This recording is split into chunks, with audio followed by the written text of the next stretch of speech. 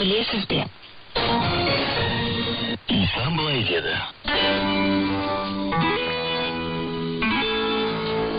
мына судан ішкен адам тағы шөлдейді ал кімде кім мен беретін судан ішсе ол мәңгі бақи шөлдемейтін болады. Мен беретін су оның ішінде мәңгілік өмір сыйлайтын бұрқылдап жатқан қайнарға айналады.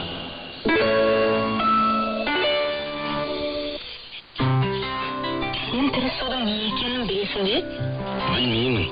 Бәлкім ағып жатқан суды білдіретін шығар адамға мәңгілік өмір сыйлайтын су. Мен шөлдедім маған су беріңізші.